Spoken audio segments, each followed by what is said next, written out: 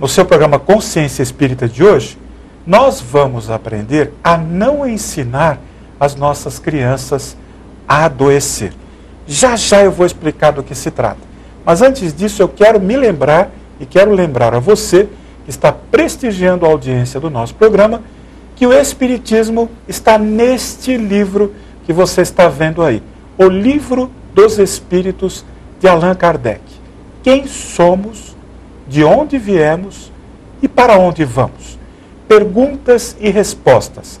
Allan Kardec pergunta e os espíritos de luz respondem as questões mais intrincadas da civilização que perturbam o homem há milênios, por que não dizer, encontram respostas no Livro dos Espíritos de Allan Kardec. É obra que é o fundamento do Espiritismo. E eu posso dizer, aliás, eu preciso dizer, que é a leitura obrigatória para quem quer conhecer o Espiritismo em profundidade. Agora, nós precisamos mergulhar um pouquinho em maior profundidade do conhecimento para entender que nós estamos, eventualmente e quase sempre, ao invés de ajudar as nossas crianças a encontrar a saúde física e espiritual, nós estamos ensinando as nossas crianças a adoecer. Isso pode parecer chocante, mas é verdadeiro. E nós convidamos para o programa de hoje o autor deste livro que você está vendo aí agora. Não ensine a criança a adoecer. Do doutor Américo Canhoto, que é médico homeopata, escritor, dirigente espírita e orador que está conosco no programa de hoje. Doutor Américo, é chocante. Nós estamos ensinando as crianças a adoecer? É, realmente nós somos malucos. É, na nossa sociedade, por exemplo, saúde, que seria um bem, não tem valor nenhum para a pessoa alguma até que seja perdida. Aí passa a ter um valor máximo. Então, na realidade, quem tem valor é a doença. É, é, assim, tanto ela tem valor que a criança aprende a ficar doente porque ela é premiada quando fica doente. Então, o, assim, todo o processo começa nos primeiros dias, meses e anos de vida. O comando no ser humano é total do subconsciente. Ele funciona como um scanner que absorve do meio ambiente e incorpora.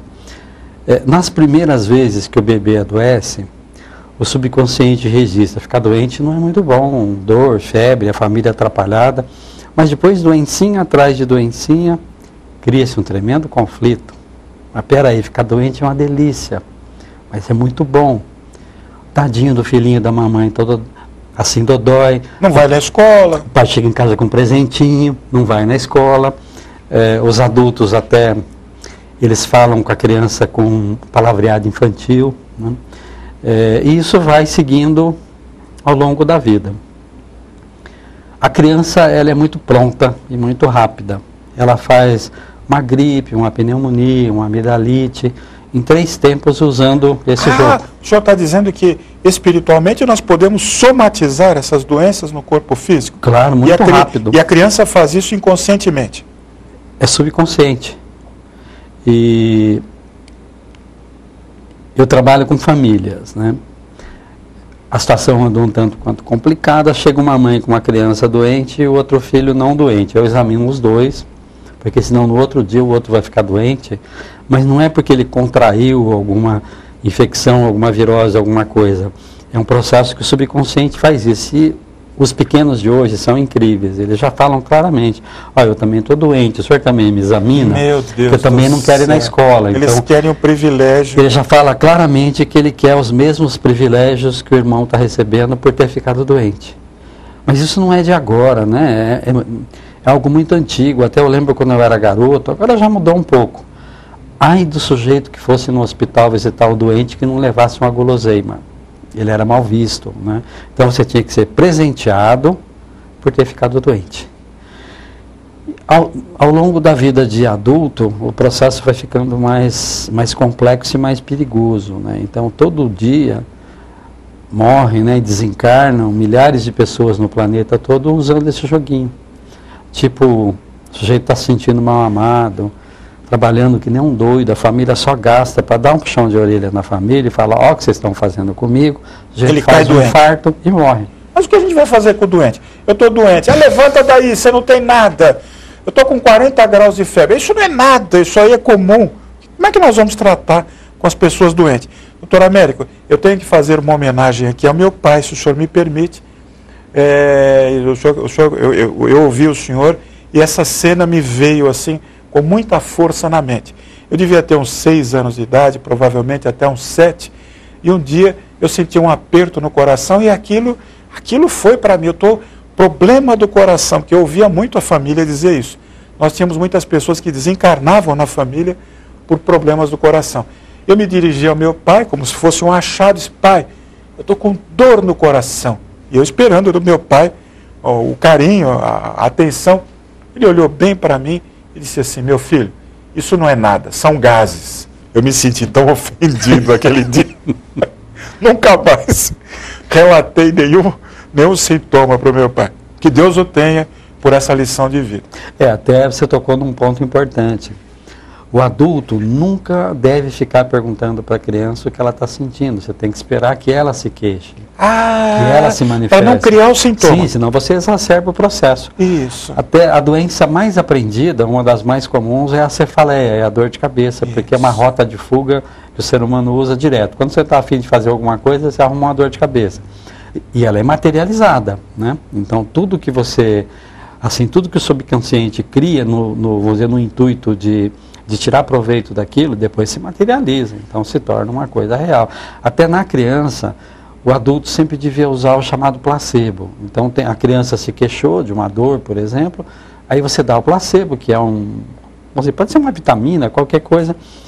Se a criança parar de se queixar, é porque ela estava utilizando esse mecanismo. Se ela continuar se queixando, é porque realmente era dor e o processo tem que ser. Eu entendi. A gente não pode, não pode também minimizar. Não, é claro que preciso não. bom senso. Sim, sim. Evidente que sim. E é, esse mecanismo, ele vai além assim no adulto. Por exemplo, a gente pode garantir, muita gente vai se ofender, mas a gente pode garantir que a maioria dos doentes não se curam porque não querem. Meu Deus do céu, isso é chocante. É, mas a gente tem que explicar.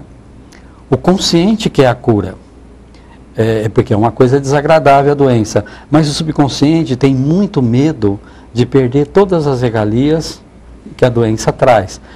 E sendo muito bonzinho, muito caridoso, a maioria de nós, o consciente não está no poder nem meia hora das 24 horas do dia. Quem tem o comando é o subconsciente. Isso vale também, dá para fazer um, um link com o problema do sobrepeso. Nossa, engordei, tem que fazer uma dieta, tem que fazer exercício. Quem está pontuando isso é o consciente. Consciente. Mas o subconsciente adora comer, foi treinado para comer, é, sente prazer em comer. Quem vai ganhar a briga? O subconsciente. Na Mas isso é goleada, doutora América. goleada. Na atividade física, a mesma coisa. Eu canso de pegar no meu trabalho alguém que foi, de certa forma, pressionado para fazer exercício. Aí o subconsciente dá um jeito de machucar o joelho, de ter um problema de coluna, né? E aí o sujeito não pode praticar atividade física. Programa Consciência Espírita, conversando com o doutor Américo Canhoto, médico da família, médico homeopata, dirigente espírita, autor desse belíssimo livro que eu recomendo, Não Ensine a Criança a Adoecer, da editora EBM de Santo André, São Paulo. Doutor Américo Canhoto continua conosco, ele está fazendo algumas revelações aqui chocantes e polêmicas, mas alicerçado na ciência médica. Eu volto daqui a pouquinho para ajudar a você a não ensinar o seu filho a adoecer. Até já.